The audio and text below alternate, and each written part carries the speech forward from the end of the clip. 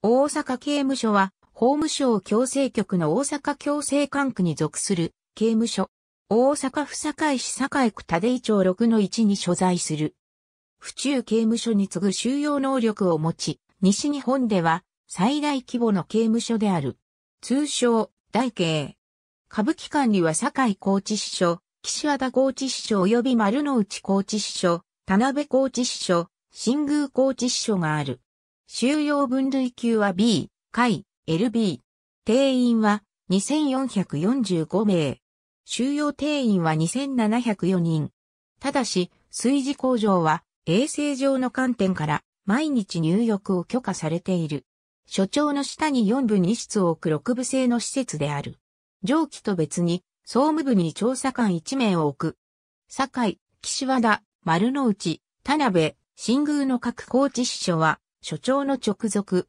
JR 阪和線堺市駅下車西へ、徒歩約5分。毎年11月上旬の土日用に、関西共生展が開催されている。